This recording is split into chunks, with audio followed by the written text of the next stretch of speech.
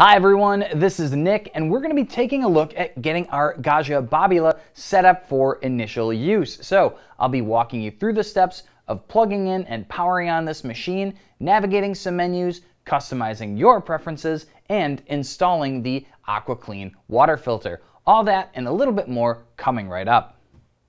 Out of the box, we have a number of accessories that are included with the Gaggia Babila. So from left to right, we'll start with our complimentary bottle of Gaggia Decalcifier. This is a decalcifying solution that breaks down mineral buildup caused by hard water inside of your machine. Next to that is a Aqua Clean water filter. So I'll cover activating this. Next to that is our coffee scoop. So this is for the bypass doser, which allows you to use the machine's pre-ground function. This is simply a measured scoop for one max dose in the brew unit. Now, ahead of those, we have our brush. This is a handy brush just for getting loose coffee grinds out of the inside of the machine or off of the brew group. Next to that is a tube of the Brew Group lubricant. That's a food-safe grease that can be applied to the brew group to allow the mechanisms to slide without friction. You'll simply want to apply this lubricant on a one to four month basis, depending on your frequency of use. Our last two accessories are our water hardness test strip, which we'll use to program our hardness into the machine. That's helpful for determining the descaling cycle based on the number of drinks brewed. And then our last little tab here is actually the socket cover, which goes in place of the milk carafe. So when you're done frothing and you've stored that in the fridge, you can simply put that tab on the front of the machine. And I'll show you later a handy little place where you can store this tab when not fitted. And that covers the accessories for the Gaggia Babila. Here we are at the back of the Babila. So as you can see, we have a socket for our power cord and then also a two-position power switch. So we'll go ahead and securely insert that plug into the socket. And now when we flip this switch, the machine will power on and it will take us through the guided steps for our first setup. So I'll go ahead and flip that and see you on the other side. And here we are now in front of the machine. So as you can see, the Babila actually went ahead and powered itself on. Now, normally though, what will happen is after the standby kicks on, you will want to go ahead and push the power button to power the machine on in the future. You can also press that same button to go into standby mode from regular operation. Now, on the left side of the screen here, we have two small buttons. They're exclusively for our programming and operation. So we have our confirmation selection button here and our return button. So that's to confirm your choices or to go back from certain menus. Now, on the right side of the screen, we have our dual purpose buttons. So the top being aroma strength, which is the coffee strength or the up arrow, and then the other being the menu button or the down arrow. So fortunately, we're actually already on English, which is my preferred language, so we'll go ahead and say yes. Now, we're being prompted to refill the water tank, or in this case, fill it for the first time. We'll go ahead and open up this door here on the left, and I do want to show you this little cover that we have here. I mentioned earlier that uh, there's a little slot that fits our chrome socket cover very nicely. I'm a fan of like weirdly shaped little slots that you can put things in that like is really great for that. Now go ahead and remove the reservoir. So we'll just go ahead and give this a good rinse and then after it's done being rinsed we can actually put it back in the machine. So I will be right back with some fresh water. Now we have our water reservoir filled so we can continue with this process. I'm going to do just a couple of things in advance, but first we'll remove the carafe. I won't be needing that right now, but you know what I do want then is going to be this little tab. So fits in there just like a puzzle piece. And we've got that on. Now we can go ahead and put the reservoir back in the machine. And I do want to let you know that you'll need a nice container just to get under these spouts. And so it's going to run a rinse and it's drawing water in just for its initial prime, which is to get the water circuit full of water so it can pump for your espresso. And uh, you know, your machine should be clear with all the water that comes out. This is not a brand new Babila, but we tricked it into thinking it is. So if there's just a little brown in this water, that's just from our rinse here.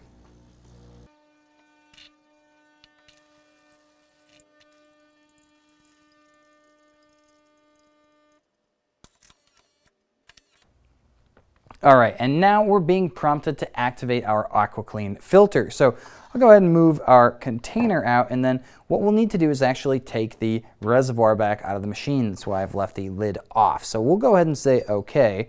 And it's asking us to insert the water filter and fill the tank. Now, you can either empty the filter or the reservoir and then put the filter in and then fill it back up, or you can be a daredevil like me and just go ahead and try to put it right in there. So I'll go ahead and actually just put my filter right in. So what you'll want to do, orient it this way.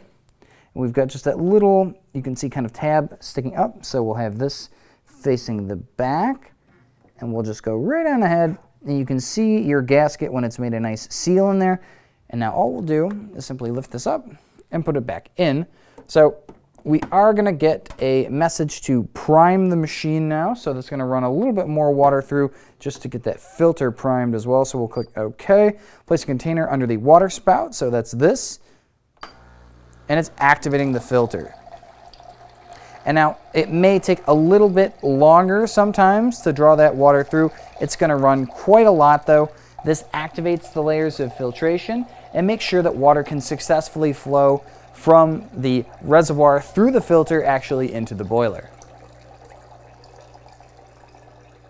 Now that we are done priming, we can see that the Aqua Clean icon has appeared on the screen. So that 100% lets us know how much life is left in the filter. We'll go ahead and put the lid back on the reservoir. And now one thing that you can do actually is in the back here. So if you have a telescoping sink or a nice pitcher, for example, you can actually fill the machine via the reservoir just like this. So I'll do that to get some fresh water back in there so we'll have some to start brewing. But our science experiment isn't quite done yet. The last thing that we really want to do is figure out what our water hardness is. So that's going to use the included strip that came with the machine and what's going to happen is we can go into the programming menu and select the water hardness option. So this is really important because if say for instance you don't continue to purchase and use AquaClean filters, you'll want to get your correct hardness programmed in the machine so that it will tell you when you need to descale. So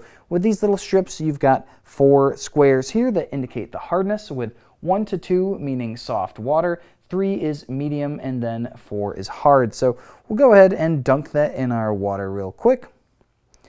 Give that a quick shake, and we'll let that just set for a moment, and the squares will start to change color.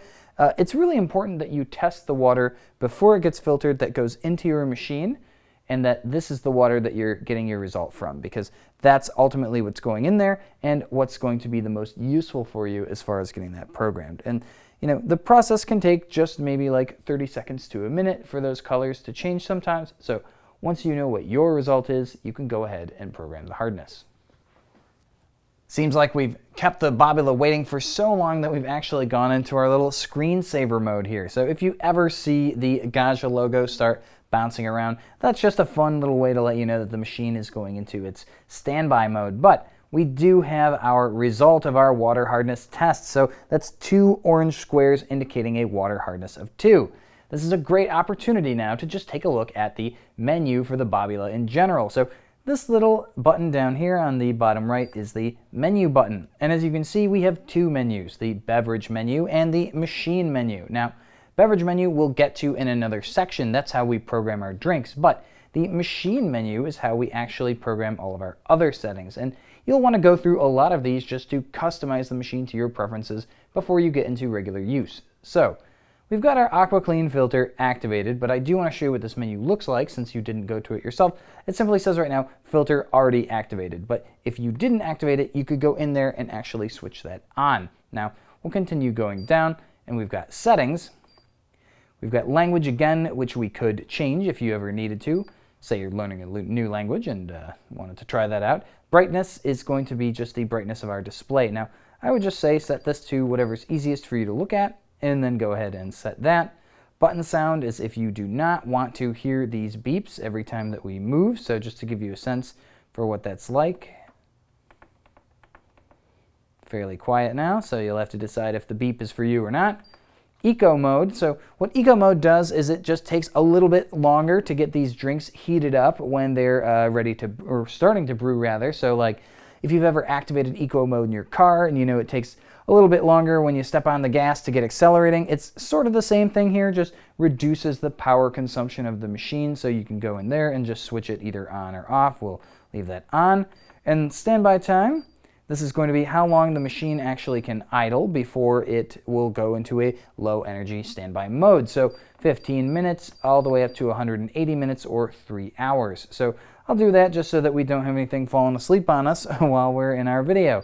Now, water hardness, which is our second to last option, we'll go in and we've got our results here from 1 to 4. I'm going to go ahead and say 2. Now, you want to make sure that you have the correct water hardness actually programmed into the machine so that you get an accurate descaling frequency based on the number of drinks that you make. Now, of course, our last option is restore to default, which we don't want to do, so I'll go ahead and demo the return button for you. So that's how that works. But that's basically how we would program our water hardness and an overview of some of the other menu options that we've got here in the Babila. So the other ones that we've got, if we keep scrolling past settings though, we have maintenance here. So maintenance has a couple of things. We've got brew group clean, which is how to clean the group using a Gaggia cleaning tablet.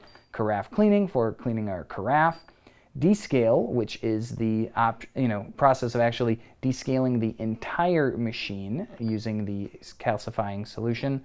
And then if we go to carafe clean here, carafe clean is basically a yes, no, do we want to be prompted to clean the carafe after we are done making a milk drink. So it's going to default on, and what's going to happen is after you're done frothing a drink, you'll get a little alert. Now, carafe cleaning, just to show you the difference, this is, hey, do you want to start cleaning the carafe? That's where we would use like a formulated milk breakdown solution, something like a Urnex Rinza, for example. So we'll go ahead and say, no, we don't want to do that though. We can go back again, we'll go down to our statistics. This is mostly bragging rights, but this is where you can see all the number of drinks that you've made with all the different options. And you can reset the statistics, but I kind of would like to leave them on there you know, we get people who are like, hey, I made 10,000 drinks. And it's like, drank a lot of coffee. So we'll go back. And that covers the menu on the Gaggia Babila.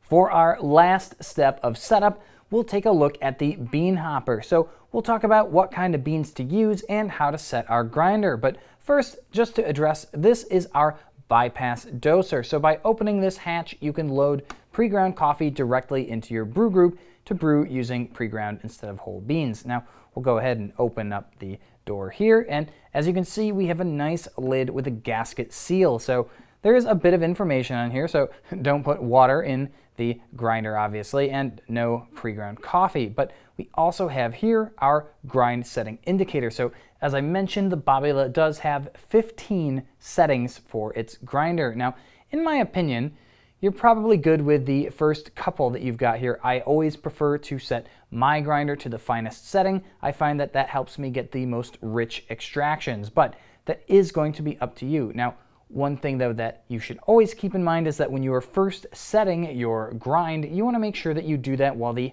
hopper is empty. So before adding any beans, you can go ahead and adjust. And to adjust, you'll simply push and twist, and this arrow here lines up with your current selection. And you may say, why should I wait? Or rather, why should I do this before putting in beans? Well, you want to make sure that there's no coffee between those burrs because when you're making adjustments, if there's beans between the burrs and you're trying to get finer, that's something that will obstruct them and can damage the grinder. At which point, Gaggia recommends that you only make a single adjustment at a time, brew a shot, and then make another one. That's why I always say that you should simply adjust your grinder before adding coffee. Now, We'll go ahead and remove the lid, and you can see on the inside we have the hopper here, and then an auger which pulls the coffee down into the burrs. So the beans that you use should be a medium roast that does not have a lot of surface oil. Uh, so you can either use something like this. I'll show you. This is the Gaggia 100% Arabica. But you can see a nice medium roast here, no surface oils or glossy sheen. Those oils can basically gum up a lot of stuff ranging from the hopper to your group and cause some damage. So no extra dark roasts and no flavored coffee, and otherwise you'll be good to brew with the Babila. So that puts a lid on it, and we'll take a look at brewing next.